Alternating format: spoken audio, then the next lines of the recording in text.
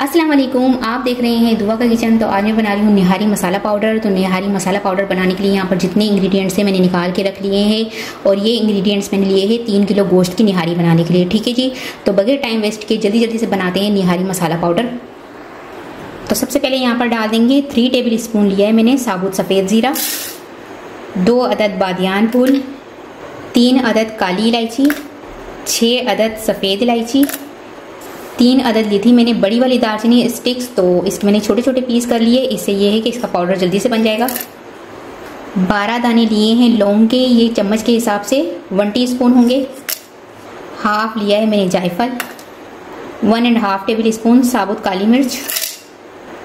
सौंफ इसका main ingredients है क्योंकि निहारी में जो सौंफ की खुशबू होती है, वो सबसे अच्छी बनती है। अगर सौंफ ना हो तो खुशबू मज़े की, निहारी मज़े की नहीं बनती। तो यहाँ पर टू टेबल स्पून लिए मैंने सौंफ।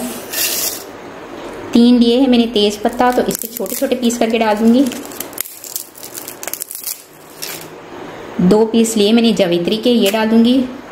इसको कवर करके इसका पाउडर बना लूँगी जल्दी से।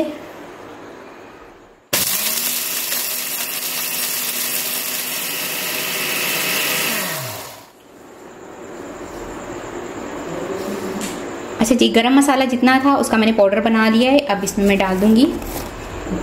वन टेबल स्पून डाल दूँगी सूंठ। अदरक का ड्राई, अदरक का जो पाउडर होता है वो डाल दिया one and half tablespoon डाल दूँगी कचरी पाउडर। क्वार्टर टी स्पून डाल दूँगी हल्दी पाउडर।